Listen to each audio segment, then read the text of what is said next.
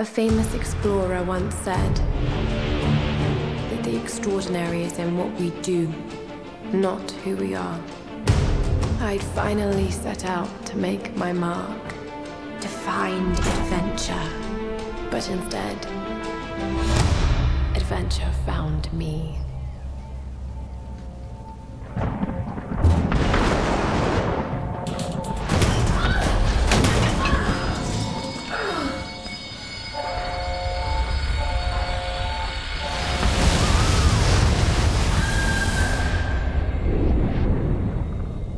in our darkest moments. When life flashes before us, we find something. Something that keeps us going.